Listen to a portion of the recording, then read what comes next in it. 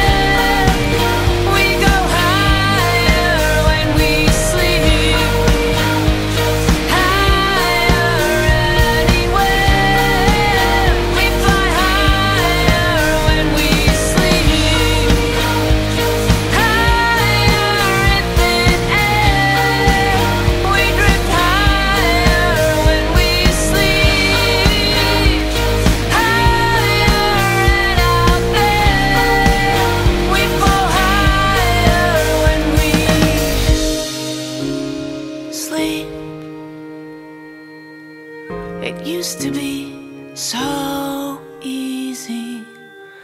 You'd feel warm, tucked in for the night, safe and sound.